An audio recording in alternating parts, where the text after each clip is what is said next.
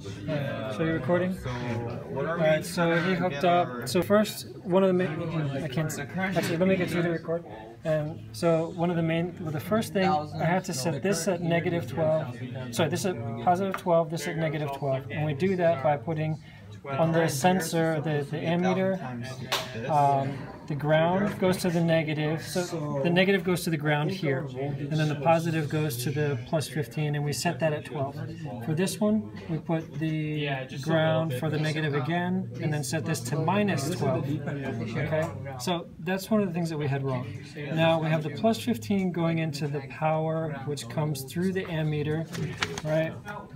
Um, which we, want to measure this, so that's why it's the first thing that's happening. This is where we put the ammeter in line with that.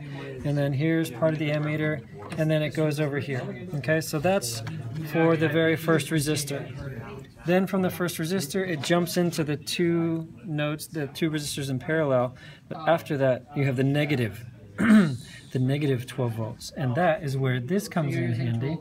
And that's the negative 12 volt there. And you don't have to have it going out. That's the weird thing. You don't need like a second line going out to the positive for, for whatever reason. So ignoring that, there's one more aspect, and that's coming from over here. This is our variable voltage supply, which goes with this.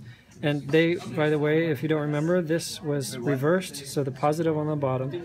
And so we can change this voltage, and that voltage is between the 2.2 k ohm resistor and the uh, the ground. So basically, we want positive. We want sorry, we want negative. Anyways, so let's see where it goes, and we can just look.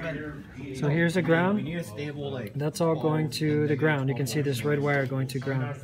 This here, positive, or in this case negative, that is the other terminal of the voltage, and that is going up by the 4.7k ohm resistor, I hope.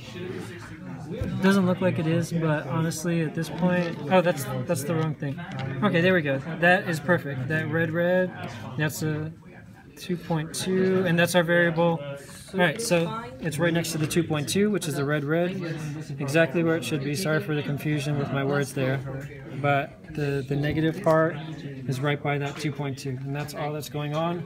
Once we do that, we should be able to find a voltage where voltage 8.8, 8.8 voltage matches up with 8.8 milliamp. And that is the whole story. Whether it makes sense or not, that's what's going on.